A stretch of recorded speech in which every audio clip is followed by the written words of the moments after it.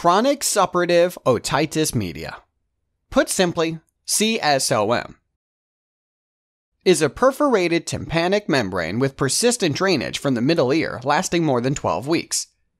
CSOM is initiated by an episode of acute infection. The pathophysiology of CSOM begins with irritation and subsequent inflammation of the middle ear mucosa. The inflammatory response creates mucosal edema and increased middle ear discharge, eventually leading to tympanic membrane perforation. A perforation becomes permanent when its edges are covered by squamous epithelium and it does not heal spontaneously. Types of CSOM. Clinically, it is divided into two types. 1 tubotympanic, also called the safe or benign type. It involves anterior inferior part of middle ear cleft and is associated with a central perforation. There is little risk of serious complications. 2. Atticoantral, also called unsafe or dangerous type.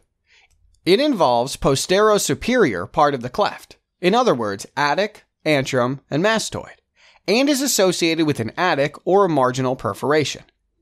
The disease is often associated with a bone eroding process such as cholesteatoma. Risk of complications is high in this type. Investigations 1. Examination under microscope.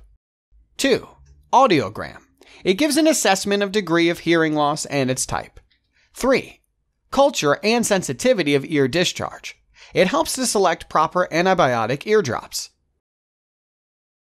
Treatment the aim is to control infection and eliminate ear discharge, and, at a later stage, to correct the hearing loss by surgical means.